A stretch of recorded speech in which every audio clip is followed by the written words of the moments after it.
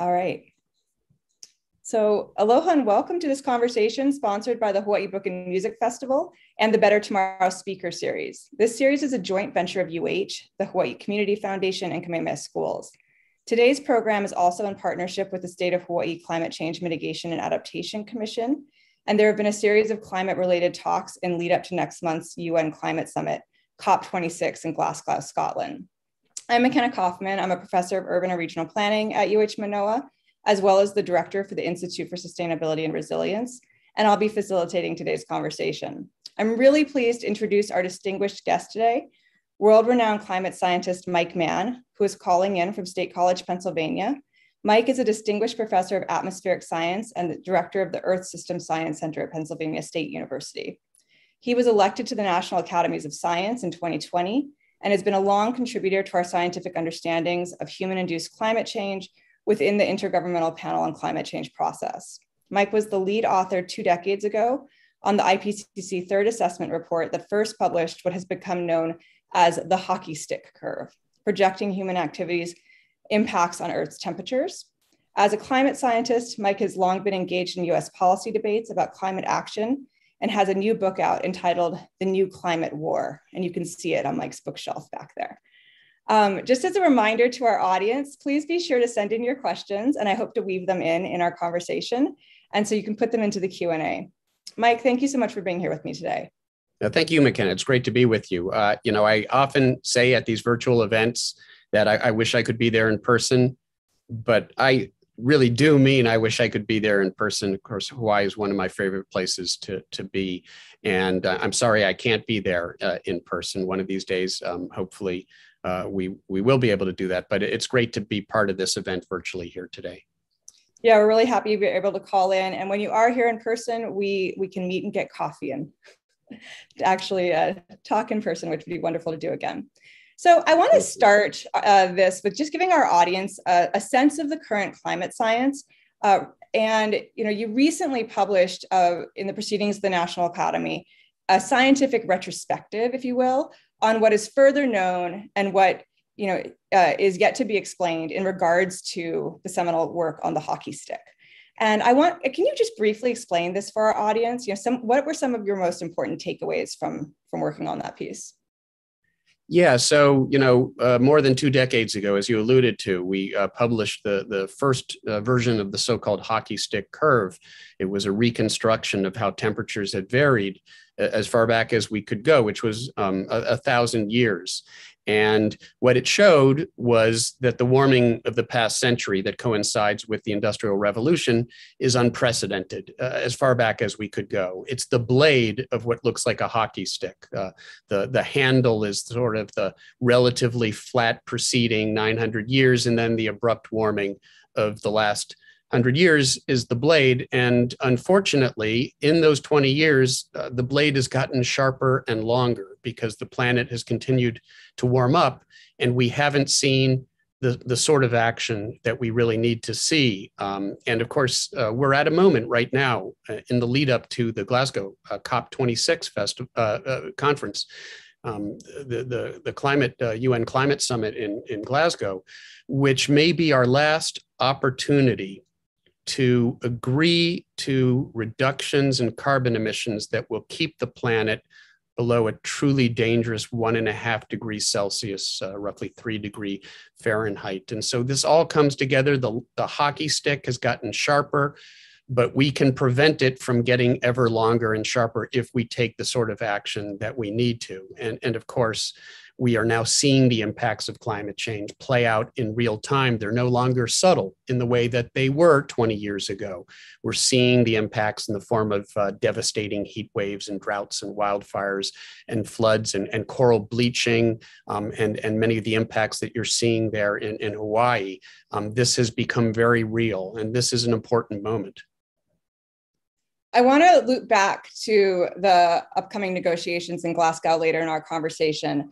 But um, let's bring in terms of these these you know Im- these climate change impacts that we're experiencing and you know now in the current. These are no longer future events. Um, and one of the you know the, the Intergovernmental Panel on Climate Change sixth assessment report recently came out, and one of the really you know stark statements. I think for people who are climate scientists, is not stark, but for the, the general public, that it's unequivocal, right? That human influence is warming the atmosphere, the ocean, and the land. And so to me, the report sort of gives this really strong message. The science of attribution has gotten far better, as well as it makes this point that you know there's still time to act. We can, we can do this, and this really also mirrors the argument in in your book, uh, the, the, New Climate War. Um, so I want can you talk about sort of the levels of greenhouse gas emissions reductions that need to reach, let's say, the two degrees of warming, but actually the increasingly important uh, 1.5 degrees of warming.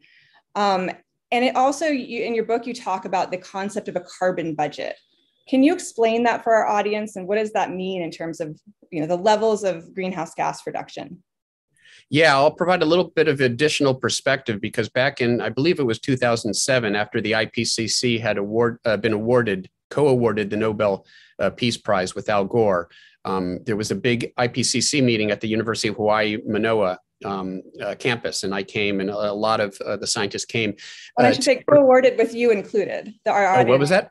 I should say co-awarded with you included. Our audience should know that. So. I was one of hundreds of scientists, absolutely, who contributed to to that effort, and we were there to collectively, I suppose, celebrate. But it was sort of a pyrrhic um, victory that we were celebrating because, of course, um, little did we know that, you know, back in 2007, it would be, you know, 14 years later, and the message still hadn't been heard to the extent that it needed to be.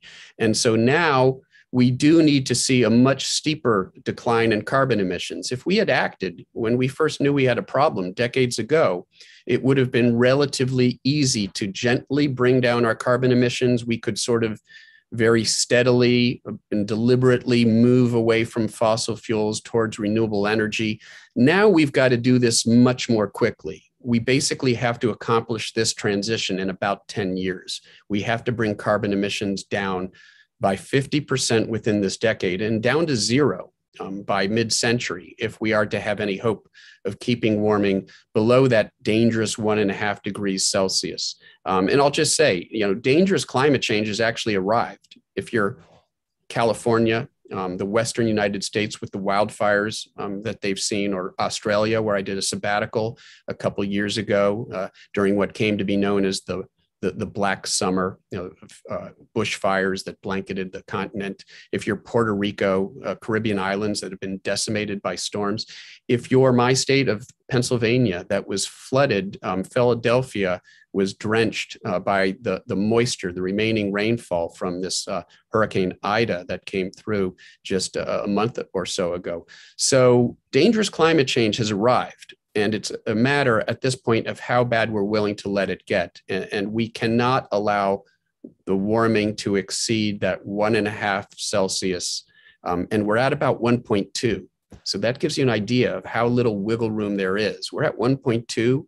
If we're going to prevent you know, the global thermometer from crossing that one and a half degrees Celsius warming, well, again, we have to see dramatic action over the next decade. And, and you know, next month, in in uh, Glasgow. We need to see far bolder commitments than we've yet seen from the countries of the world. You're, um, you know, you've sort of maybe maybe it was in this meeting post 2007, but you, you've made this transition from sort of you know hard climate scientist to also being um, an an advocate for policy, right? And you know your new book has you know a lot of the science but it's mainly about the discourse. So what can you explain how you made that transition from scientist to the role of the policy advocate? Yeah thanks. You know uh, decades ago when i double majored in applied math and, and physics at uc berkeley i didn't think i was setting myself up for a career you know uh, at the center of one of the most contentious societal debates that we've ever had if not the most contentious uh, you know uh, debate that we've ever had. But it's where my work ultimately led me. When we published the hockey stick curve back um, in 1998 and then uh, the elongated version in 1999, whether I realized it at the time or not, I had put myself at the center of the political debate because the hockey stick really represented a threat to some of the powerful vested interests, the forces of inaction, I call them in the book, or inactivists, fossil fuel companies, um, conservative media outlets, and politicians that advocate uh, for them um, and have collectively done everything they can to block the effort to, to decarbonize our civilization. Um, the hockey stick was a threat to that very powerful lobby because it told a simple story. Um, it, it, it, laid bare the profound impact that we're having on this planet. And as a result of that, um, it became uh, the center of attacks by climate change contrarians and climate change deniers. And I found myself at the center of those attacks. So, you know, I, I sometimes say that I didn't come to politics, politics came to me. Um, it's, it's not what I signed up for. But over time, uh, I came to embrace this role, this initially reluctant role that I was playing in the larger conversation about climate change. Because while it isn't, you know, what I envisioned I'd be doing with my life, uh, frankly, I love doing science. I love solving problems, analyzing data, constructing models. This is the, the stuff that got me interested in science and in climate science in the first place. But I found myself in a position to influence the conversation about the greatest challenge that we've ever faced as a civilization. And I've come to really embrace that role. And so, you know, over the last um, decade uh, and a half, perhaps, um, increasingly, um, much of what I spend my time doing, um, I still do the science. It's important to me to continue to c- contribute to our scientific understanding of the climate crisis and its impacts. But it's also very important to me to try to communicate that to the public and policymakers. And it, it, it is something that I've, you know, come to, um, to, to enjoy doing. And, and this is an extension of it right here. Great. I want to lean into what you're talking about in terms of the, the massive pushback from the fossil fuel industry. And one of the, the major points of your book was, you know, there was this long time deflection campaign by fossil fuel interest groups and one of the strategies was really to put an emphasis on individual action, right? The importance of eating meat or eating less meat, I need to say, eating less meat, flying less, right? The things that an individual can do to reduce their carbon footprint. And rather than systemic policy level action, um, can you, you know, and actually the, the personal carbon footprint as an idea is an, is an example of this, yeah. right? Can you uh, talk a little bit about this? You know, how do you see this tension between individual versus systemic policy action playing out in today's climate dialogue? Um, yes. Yeah, so no, you're absolutely right. As you know, we were talking about before, the impacts of climate change have become clear um, to the person on the street, and so the inactivists, the forces of inaction, can no longer deny that climate change is happening. They can't credibly deny that anymore. So they've moved on to these other tactics. And in many cases, these, these tactics are even more insidious um, than outright denial uh, because they're sort of harder to see, they're harder to ferret out. Um, they have a veneer of credibility to them. After all, we should, of course, all do everything that we can to minimize our environmental impact and our carbon footprint. Um, and many of the things that we do to do that make us healthier. They save us money. They make us feel better about ourselves. Uh, they set a good example for other people. And so, of course, we should do those things. But what the inactivists have done is they've used that as a wedge. They've used that um, you know, individual action as a way to get us arguing with each other about our individual carbon footprints, um, because it's it, it, plays into another tactic. Um, it's deflection, deflecting attention away from the needed systemic solutions, policies towards individual action, but it also plays to their tactic of division. It gets us fighting with each other over, you know, whether you're we're vegans or not, whether we fly or not, whether we we've chosen to have children or not. Um, uh, carbon shaming, finger pointing, um, a divisive behavior that divides the community, um, and so it no longer uh, speaks with a you know a single commanding voice demanding action. Uh, this tactic um, has its roots um, uh, decades ago, for example, in what has come to be known as the crying Indian uh, ad, uh, Native American uh, uh, who was featured in this ad that I remember when I was growing up. It played in the early 1970s, and it was this tearful um, Native American. It turns out uh, the actor who played the the, the Indian uh, wasn't even a Native American. Um, he was an Italian American, and that was the least of the subterfuge that was behind that commercial because while it felt empowering, it was telling us that we needed to clean up um, the bottle and can litter that had been strewn in our countryside. And, and it played upon sort of the power of our indigenous people, um, this idea that um, we were committing an offense against our, you know, um, the Native Americans, the indigenous people, by destroying this home, uh, this, this land. And it put forward this idea that we just all needed to be better stewards of the environment and, and pick up uh, these bottles and cans. What we didn't realize at the time was that it was actually a PR campaign that had been um, secretly hatched by the beverage industry, by Coca Cola and Anheuser-Busch they didn't want bottle bills passing in the various states. This was a regulatory solution. It would put a, a, a deposit on bottles and cans, uh, so we'd return them. Um, they would be processed, recycled. Uh, it would solve the problem, but it would hurt their bottom line. It would hurt their profits because they would be responsible for processing those returned bottles and cans. And so instead, they chose to spend millions of dollars in this massive deflection campaign to convince us that we didn't need systemic solutions. We didn't need bottle bills. And it was successful. Um, uh, and there's no national bottle bill. There are only, I think, 13 states now that have bottle bills. So they were successful in that deflection campaign. And as a result, we have one of our other global environmental crises, the, the global plastic pollution crisis, we can thank in part to the success of industry with that deflection campaign. And so they took that playbook um, and they've been running with it when it comes to uh, climate change. And as you alluded to, the very notion of a carbon footprint, an individual carbon footprint, was popularized by none other than British Petroleum back in the early 2000s, because British Petroleum wanted us so focused on our own individual carbon footprint that we failed to notice theirs. A hundred companies, fossil fuel companies, are responsible for 70% of the carbon pollution. So, yes, let's do everything we can as individuals to be better stewards of our environment, but let's not let them off the hook by pretending that individual uh, action alone is going to solve the problem because you and I can't put a price on carbon. We can't impose subsidies on renewable energy. We can't uh, block new fossil fuel infrastructure. These are all things that we need our politicians to do, and we need them representing us rather than being rubber stamps for polluters. So, uh, pushing on that a little bit, the Green New Deal is something you know people hear a lot about. It's you know a, a, set of buzzwords, and it's spearheaded by a very charismatic you know new leaders like Alexandria Ocasio Cortez. Um, I'm wondering if you can share some of your thoughts about the Green New Deal. You know what it actually is or might be. Um, what do you think about it?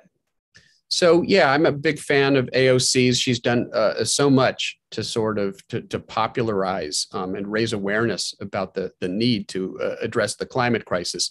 In the book um, what i argue is um, there's some versions of, of, the green new deal that in my view have become too narrow. Um, for example there's been a movement away from the idea of carbon pricing. And I think carbon pricing is a very important tool. And we're going to need sort of all of those, the tools in the toolbox if we're really going to address this problem. Uh, I don't think we can you know, take uh, carbon pricing, for example, off the table. But um, among some progressives, uh, there is this notion that carbon pricing would somehow uh, hurt uh, the poor, it would hurt uh, frontline communities.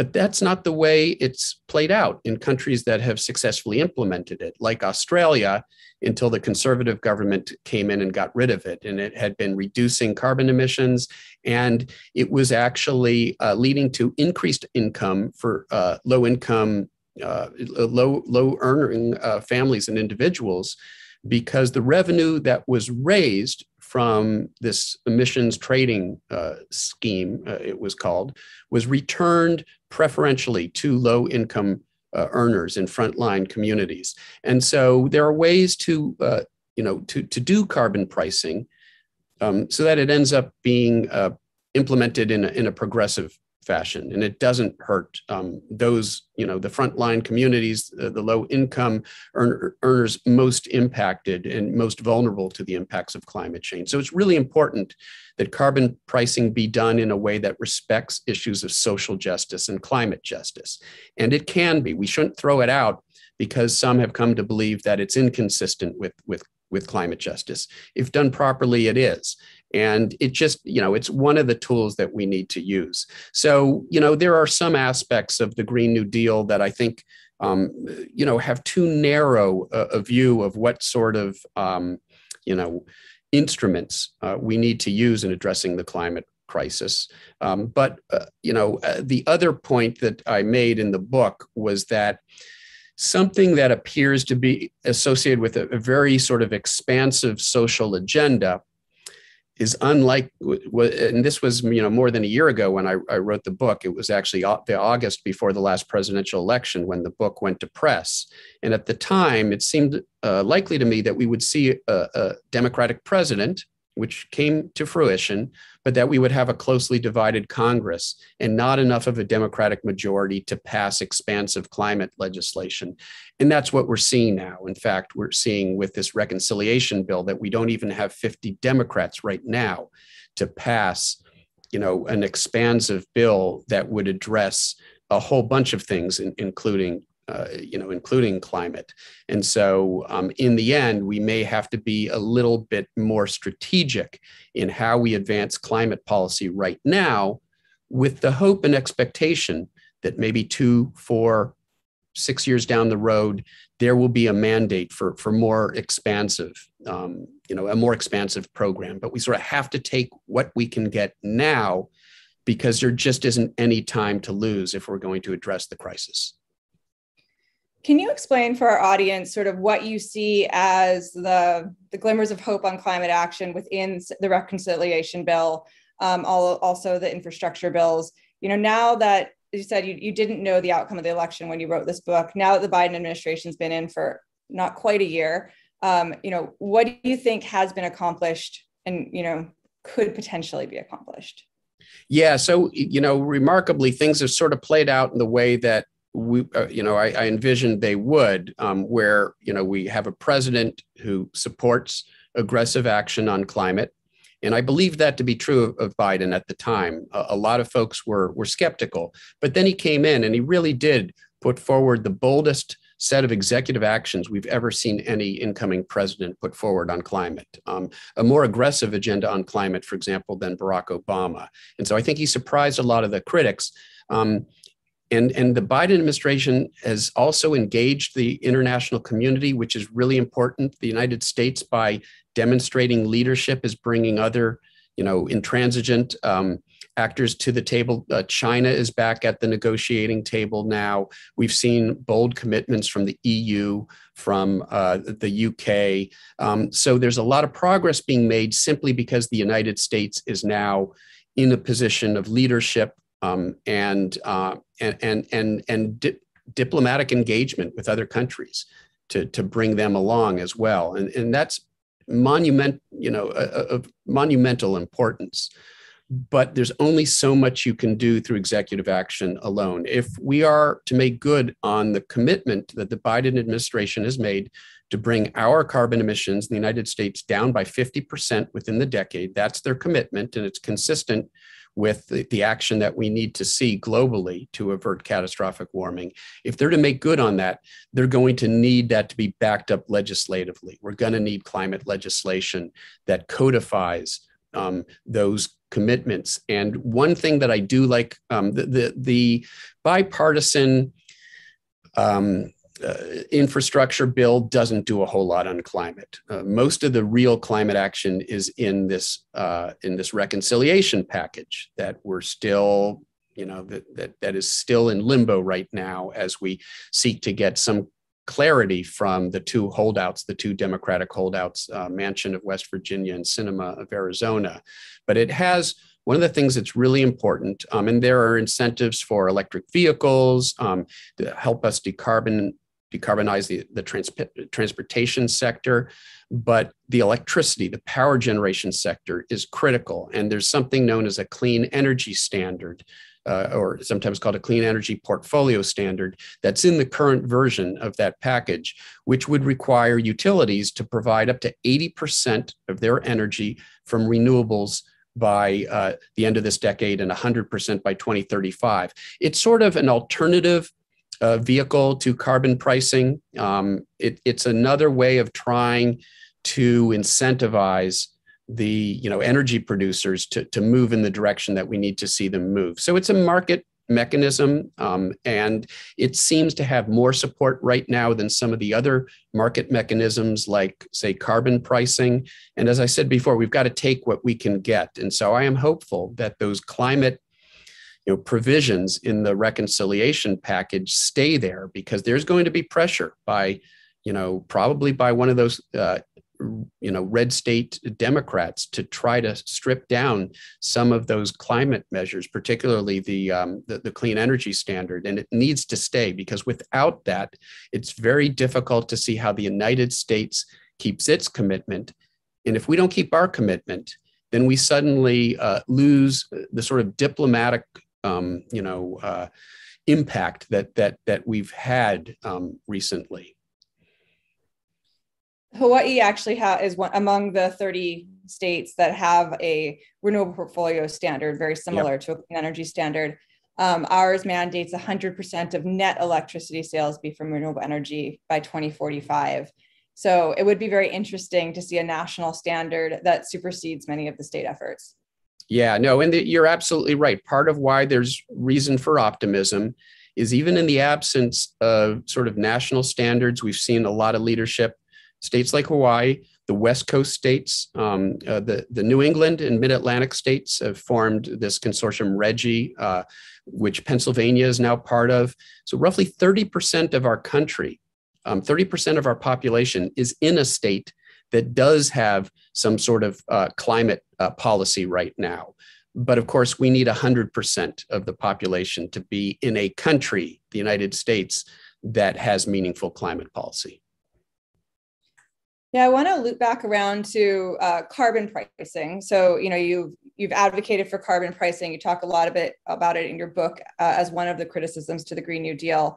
And um, you know, one of my favorite points in your book. So, I should say, carbon pricing is a research area of mine as well. So, I, I want to dwell on this a little bit. Um, but one of the my the favorite points you make is that there's somehow formed this rather strange far left and far right coalition against carbon pricing, right? right and you know motivated for the same reasons but with for different reasons but with the same outcome right. um, can you talk a little bit about sort of how do you think some of these you know motivations and you know potentially misconceptions formed and what are the hurdles to overcoming them um, if we are to use this tool in the toolbox yeah, thanks. Um, you know, I do talk about that in the book. I, you know, I've said before that one of the, you know, sort of it's um, uh, borrowing from a line from uh, one of my favorite movies, um, uh, The Usual Suspects. Uh, you know, the, the greatest trick that the ever the devil ever pulled was convincing uh, environmental progressives to be against cl- uh, carbon pricing, because um, it really has been an intentional effort by the inactivists um, by those on the right to actually, you know, divide environmental progressives on climate action by convincing at least some subset of them that carbon pricing you know is not consistent with environmental justice and climate justice. There's been an intentional campaign and i document that in the book. You can see where conservative institutions and petrostates um, like russia that have meddled in international politics, the uh, yellow um, vest protest in, in France, that was a protest against carbon pricing, a carbon tax, um, was uh, fundamentally instigated by trolls online, which appeared to be connected to Russia. Uh, Russia's uh, done similar things in Canada and Australia. Um, one thing that you have to understand in terms of sort of the global politics here is that Russia sees its greatest asset is the, as the fossil fuels um, that it uh, currently has beneath its ground um, and, and, and that it hopes to monetize. And so under Putin, uh, Russia has um, played uh, an adversarial role um, trying to prevent meaningful climate action at the global scale and, and, and in, indeed um, interfering uh, with um, individual countries uh, in their efforts to, um, you know, to, to impose uh, carbon pricing, like Canada, like Australia, like the United States.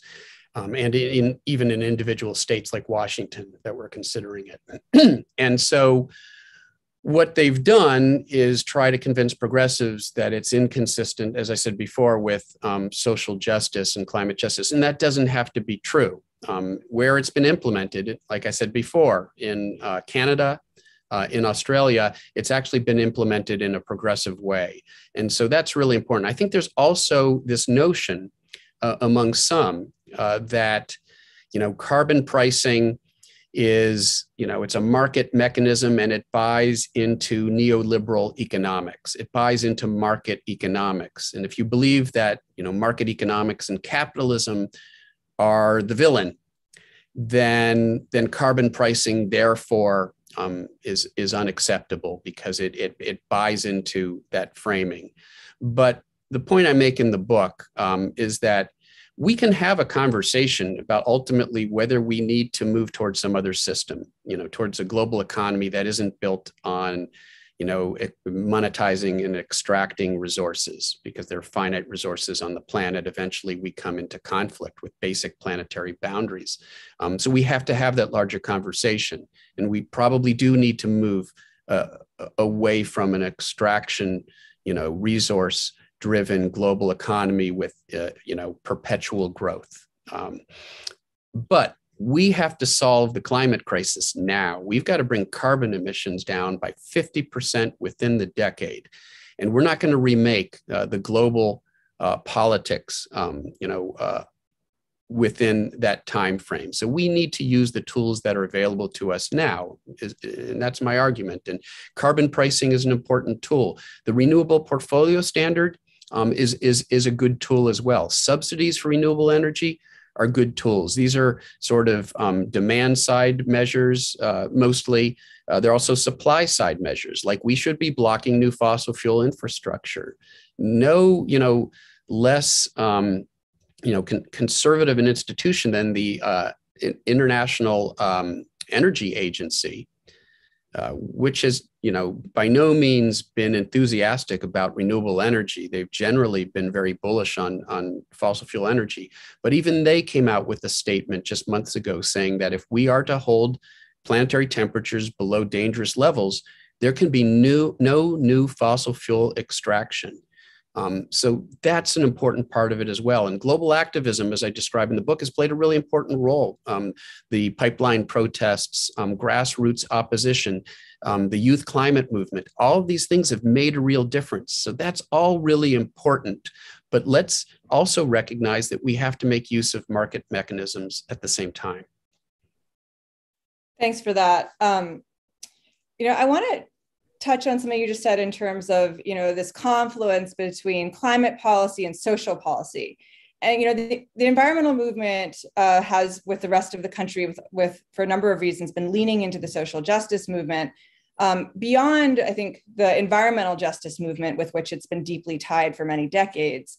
So what are your thoughts on this? You know in, is this the right approach on climate policy in the near long term? And then you know in what ways might this be beneficial? And are there any pitfalls to be mindful of?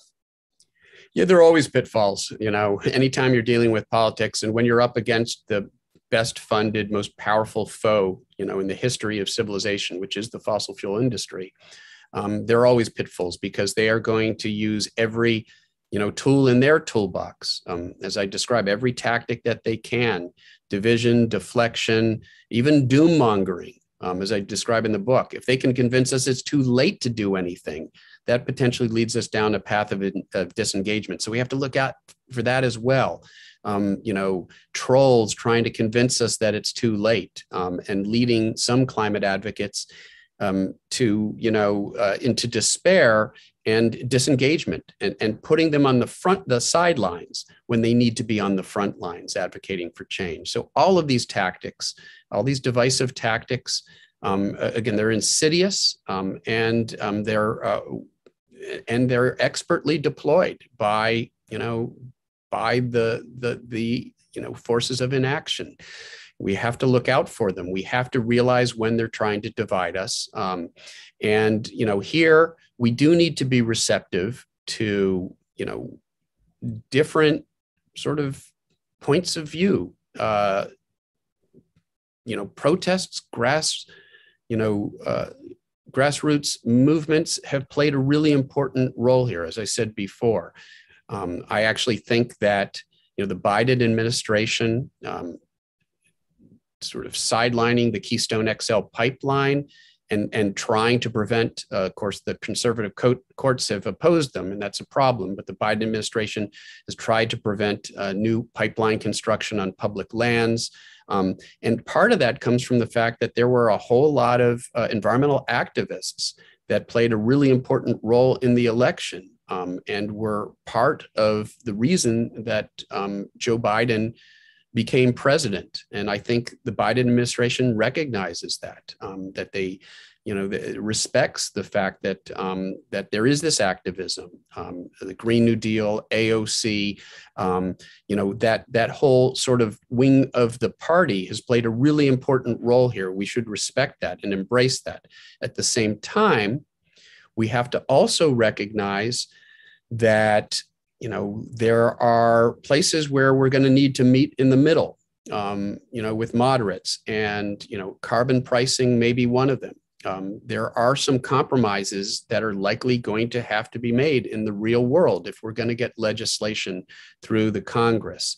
And so I think we have to respect the contributions of environmental progressives. Um, and at the same time, try to reach out. You know, we're not going to win over um, most of the you know Republican Party right now because they've sort of been weaponized um, for Donald Trump and and and and, and a right wing agenda that is just um, you know fundamentally inconsistent with any progress on issues like climate.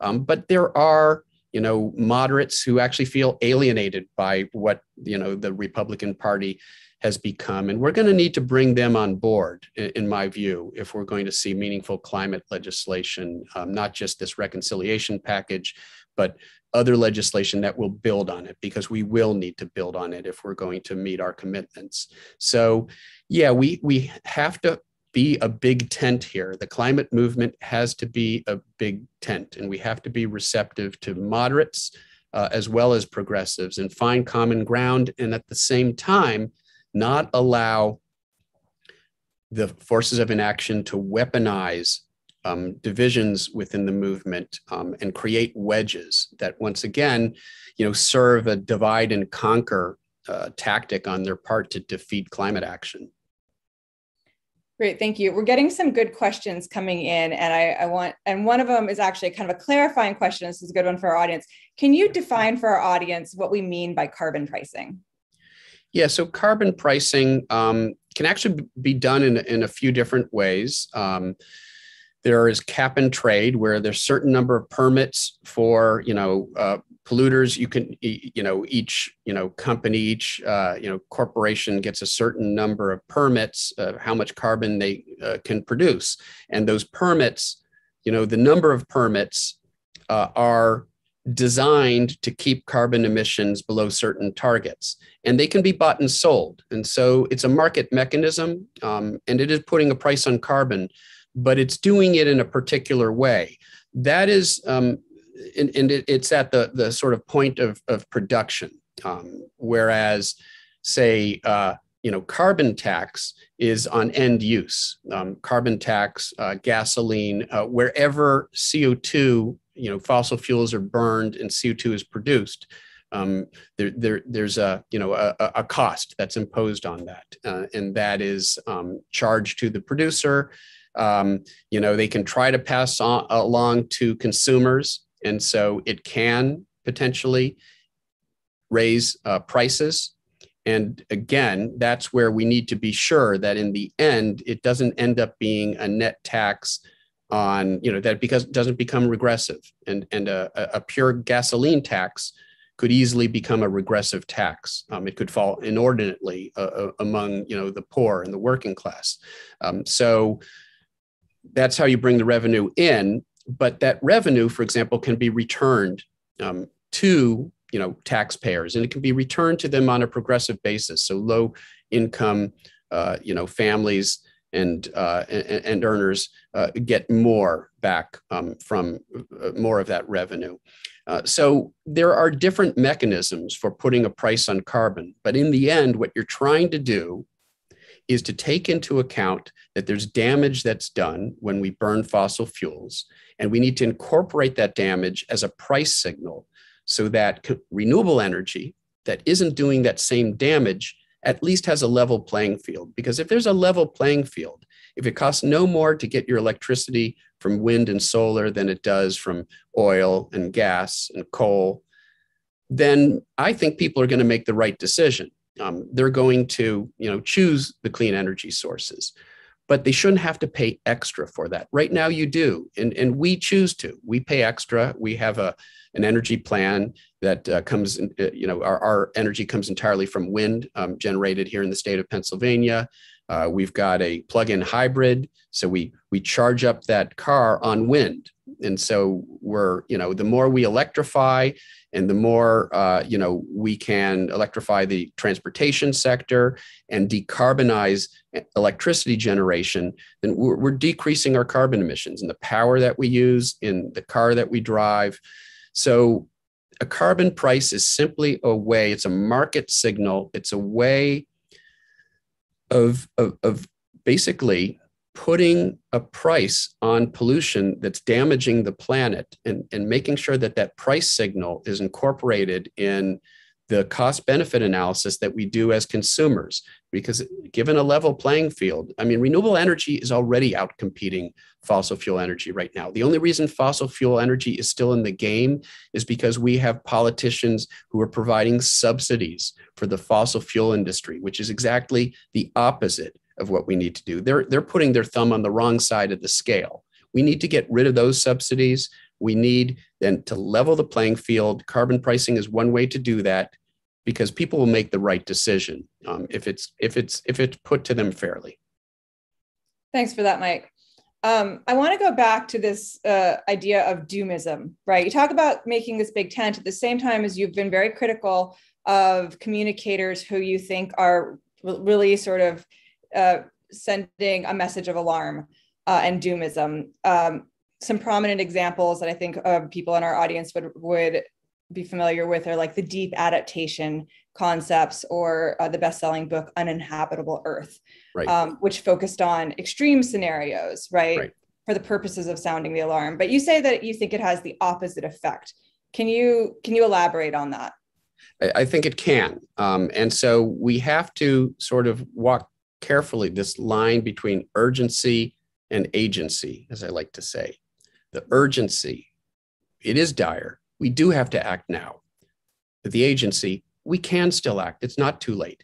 And some of these narratives, frankly, portray an unsolvable uh, problem. Uh, uh they uh, describe climate change. Um, you know, uh, deep adaptation has as its premise sort of runaway met the idea that there are methane feedbacks in the Arctic, and in most of these doomist narratives can actually be traced back to bad science. And this is why I criticize them from a scientific standpoint. Mm-hmm. Just as I criticize climate change deniers for being anti scientific and for rejecting science in service of an agenda of climate inaction, I also take to task those who misrepresent the science in favor of an agenda of, you know, of, of doomism of uh, again a, an agenda of inaction the idea that it's too late to do anything. Um, there's one individual guy mcpherson who has said that runaway warming has begun. We can't do anything about it. We'll all be extinct within 10 years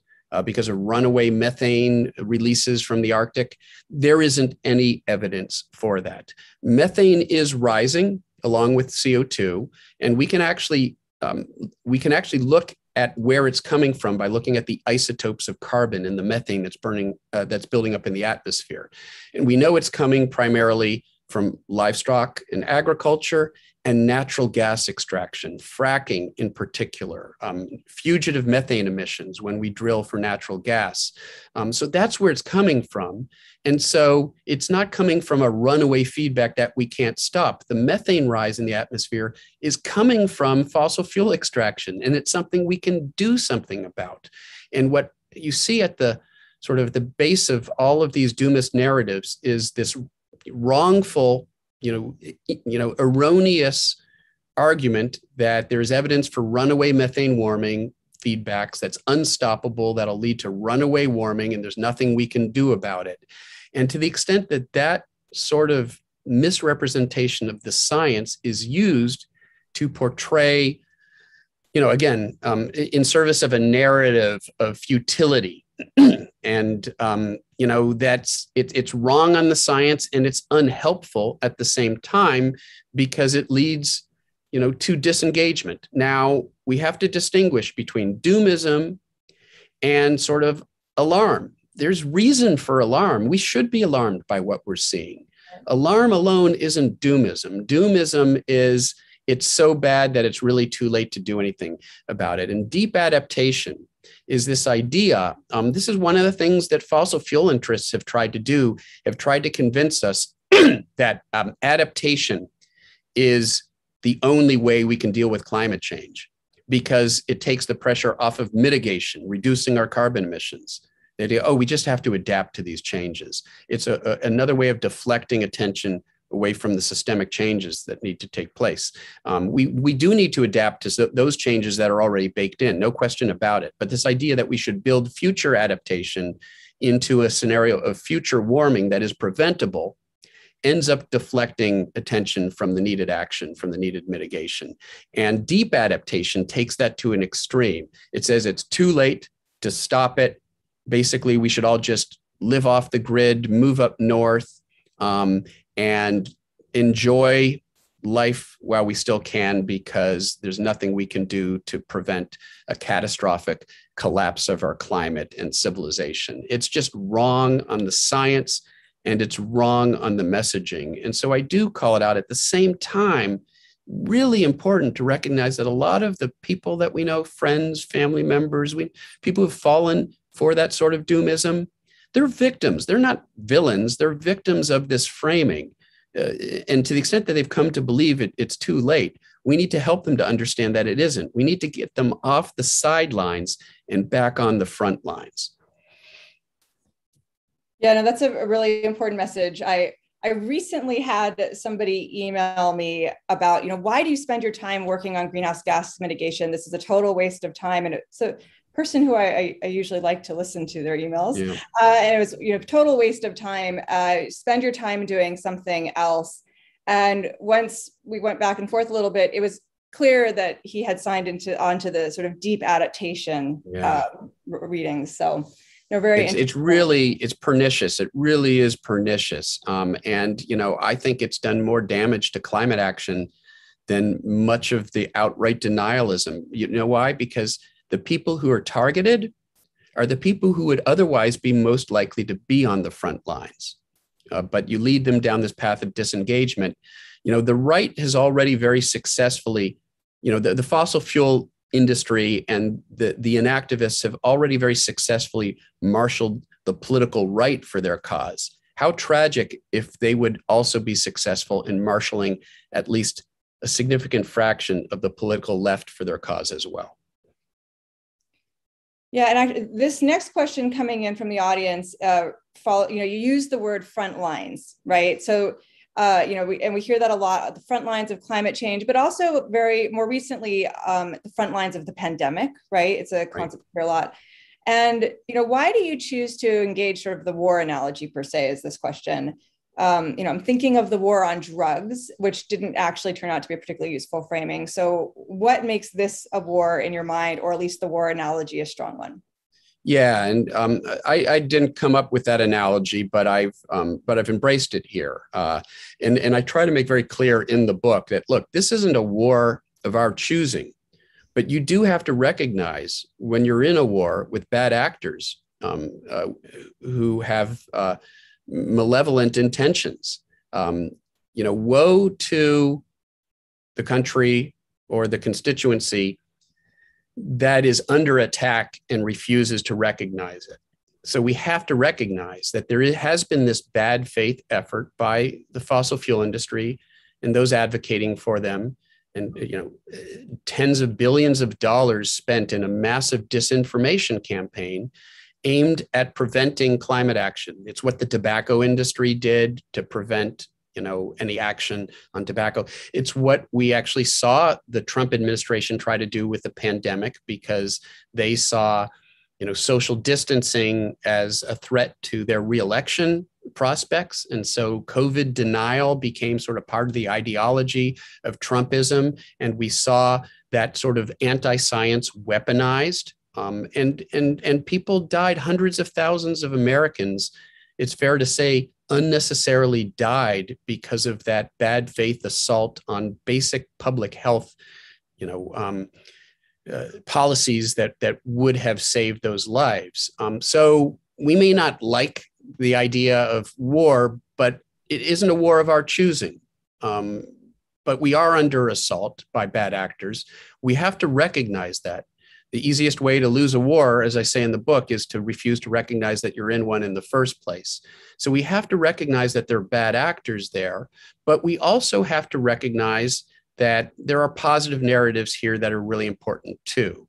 Um, we can build a better future uh, for us, our children and grandchildren. Um, we can, you know, uh, create a world um, where you know there's opportunity and there are jobs um, and you know we preserve the environment at the same time. So while there are negative narratives out there that at times are important to to understand and, and uh, there are there are positive narratives there as well. And that's you know where again i try to contrast the doomism that is uh, widespread uh, among some with the cautious optimism that is actually justified. Um, if you understand what the science has to say and you understand where we are in this moment right now with a youth climate movement that's reawakened global activism on this issue, uh, where we have a monumental opportunity in Glasgow, um, you know, just next month. Um, for the countries of the world to come together and to make the commitments that will keep warming below dangerous levels,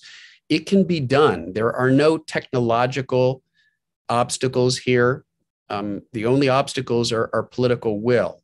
And so, yes, again, there are negative narratives that are relevant to the bad faith assault um, that we have faced, but it's equally important to talk about uh, hope and opportunity as well, positive narratives that can help guide, guide us in the right direction. Thanks for that. Um, there are so many good questions coming in. I'm going to try. Uh, we only have. I'll try to be more rapid than in my uh, responses. Yeah uh, in our last uh, 10 minutes or so. Yeah. Um, so a similar kind of framing question and also kind of arising from the youth climate movement you just mentioned. Um, could you share some of your thoughts about the framing of and the policy value of a climate emergency declaration? Is it useful? How is it useful? And for context, uh, our state legislature by resolution declared a climate emergency last session. Yeah, I, I think a climate emergency is sort of uh, appropriate framing. I mean, it is an emergency. How can you have watched what played out this summer um, here in the United States uh, and, and, and, around, you know, the entire northern hemisphere this summer, or what happened down in the southern hemisphere when I was there on the sabbatical? We are in emergency. We're seeing damaging, dangerous, unprecedented climate change impacts now.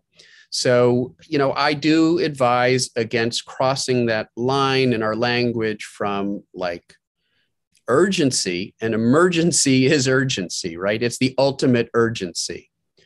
We just can't cross that line into lack of agency, uh, doomism, despair, hopelessness, uh, because, you know, again, uh, urgency without agency does not provide a path forward. Thanks. I want to, in our last few minutes, sort of dive into Hawaii specific issues and then jump up to the global and talk a little bit about uh, COP26. Um, you know, so we talked about Hawaii has a this this ambitious renewable portfolio standard. It's an airplane going ahead. um, an ambitious renewable portfolio standard, and also in the sort of pushback to the Trump administration saying uh, that it would pull out of the Paris Agreement. Hawaii was among the states that joined the U.S. Climate Alliance um, and you know had the "We Are Still in Paris" movement, which resulted in legislation in 2018 to become carbon net negative. Um, the language as soon as practicable and no later than 2045. Yeah, and so, I happen to know your, your junior senator, Brian Schatz, and he's just okay. wonderful. He has been so good on, on this issue. Um, yes. Hawaii is well represented here. Definitely. He's been a very important leader on the climate issues. That's great. Um, for our audience, just because I know this idea of carbon net negative is a, is a little wonky, what the idea is that you would annually absorb or sequester more carbon than you emit, right? And carbon, including all greenhouse gases. Um, so we have these ambitious targets on the books, and in some ways, the you know we have some clear roadmaps for you know the RPS and the electricity sector, and then there's a lot of ways where I think the roadmap isn't clear at all, right? Um, what advice do you have for Hawaii states in general that really want to make good on climate action um, and have been sort of waiting for federal leadership and trying to do their own thing at the same time? What do you, what do you say to us? Well, yeah, you know, again, so you know, your two senators. I mean, it's important for be to, to continue lobbying uh, for you know for for federal uh, you know climate action. There's no question about it. But in the meantime, you know, until we have that, there is so much that we can do at, at the, the state level. And, and Hawaii has provided a great example, along with California. Um, you know, during some of the darker times when the Trump administration withdrew from the, the Paris Accord, when we had a president who was literally a climate change denier, um, dismissed it as a Chinese hoax, we had politicians in California my friend Jerry Brown and, and now Gavin Newsom, who took leadership positions, um, and Hawaii and other states uh, that that that took leadership. And because of that, because of what states were doing, because of what municipalities were doing, and in fact, some of our larger companies that made real commitments to the "we are still in," you know, uh, Paris uh, sort of. Um, uh, the, the, we are still in movement um, when, when the Trump administration uh, threatened to pull out of Paris. Because of what was happening at, at all of those levels, the local level, at the state level, consortia of states like the West Coast states and the New England and Mid Atlantic states, um, we pretty much met our Paris obligations. So that's the good news. We, we met you know, uh, our commitments um, that were made, you know, by Barack Obama back uh, during, uh, you know, the latter part of that administration. That's the good news. The bad news is Paris doesn't get us anywhere close to what we need. Um, it, the Paris commitments alone would lead us to, you know, three, four degrees Celsius warming, you know, down the road potentially. So we need much more. We need to go well beyond Paris. And that's really what Glasgow is about and these commitments going into Glasgow by various countries to basically bring carbon emissions down by roughly 50%. Uh, well, I should say there's a lot of talk about bringing carbon emissions to net zero by 2050. And as you say, net negative beyond because eventually we actually have to bring CO2 levels back down if we're going to cool the planet. There's reason to believe that even if we keep the planet elevated at this temperature for centuries, we may lose very large parts of um, the Greenland ice sheet, the West Antarctic ice sheet, enough to flood large parts of you know the coast of uh, Hawaii um, and, and, and, other coastal locations and low-lying island nations around the world. So we may na- need to go net negative uh, ultimately, but but the first step um, is to begin bringing them down. We've got to come down this slope. We're at the peak right now, and there's some evidence if you look at carbon emissions over the past few years, and sort of have to iron out you know the effects of COVID-19. There was a big dip, but then that sort of came back. But if you sort of stand back and look at the larger trend, we're sort of at that peak starting to come down. The problem is we've got to be down half the way to zero by 2030. And a lot of the commitments we're hearing right now from countries like Australia, for example, uh, from Russia, for example, they're happy to talk about 2050 or 2060 um, and being carbon you know, neutral by then. And that's all fine.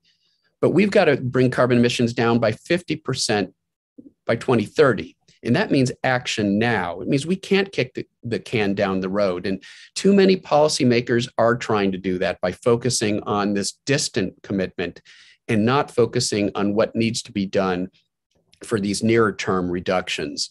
And there is what's known as a implementation gap, which is, for example, if you look at the United States and the UK and the EU, um, all have commitments to bring carbon emissions down basically by 50%, you know, within the decade, which is great. But the action on the ground doesn't support that. We're still seeing pipeline construction here in the United States. We're still seeing it in the UK. In the IEA, as we said before, even the Conservative uh, International Energy Agency has said there can be no new infrastructure, fossil fuel infrastructure, if we're to keep carbon uh, levels below those dangerous levels. So there is this implementation gap. There's a lot more work that needs to be done. And it comes back to grassroots pressure. It really does make a difference. The, the youth climate protests, the, the climate justice movement, all of these things have brought tremendous pressure to bear and has de- and, and uh, which has certainly brought along the, the Biden administration. But we can't let up on that pressure. We still have two intransigent Democrats um, who stand who are in a position to block meaningful climate action. We have to use every means at our disposal to make it politically impossible for them to do that. I think that is the note we want to end on. We are at time, and that was kind of the perfect finish. And I just, for our audience, you know, really, you know, tune into the COP negotiations, get involved in climate activism. Um, there are so many things that we can individually and collectively push for um, moving forward. And I really want to thank you, Mike, for this conversation. I've I've enjoyed it. Um, thanks for being here. Mahalo. And, it's been my pleasure.